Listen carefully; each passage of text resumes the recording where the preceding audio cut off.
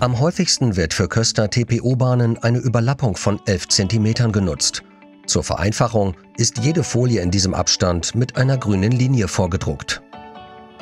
Die Überlappung von 11 cm wird bei der mechanischen Befestigung von Dachbahnen verwendet, um eine ordnungsgemäße Abdeckung der Befestigungselemente zu gewährleisten.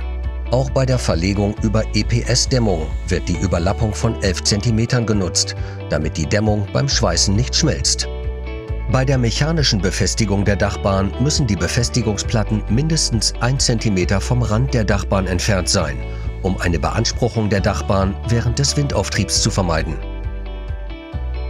Eine Überlappung von 8 cm wird bei der losen Verlegung auf Schotter oder bei der streifen- oder vollflächigen Verklebung auf EPS-Dämmung verwendet.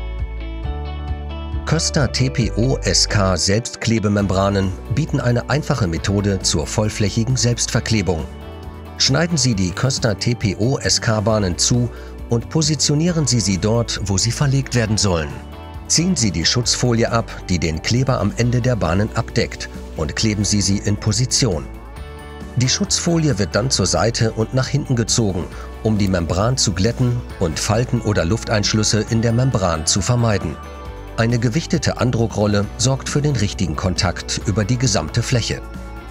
Eine Überlappung von 5 cm ist ausreichend, wenn lose verlegte oder streifenförmig verklebte Bahnen auf nicht isolierten Untergründen verlegt werden.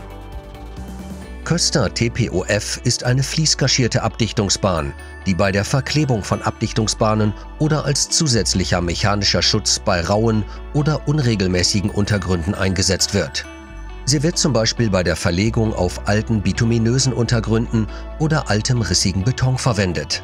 Die Anwendung von Köster TPO-Bahnen hat den großen Vorteil, dass die Anforderungen an die Untergrundvorbereitung im Vergleich zu Beschichtungen und Abdichtungen minimal sind. Mit Köster TPO-Bahnen sind problematische Untergründe kein Thema mehr.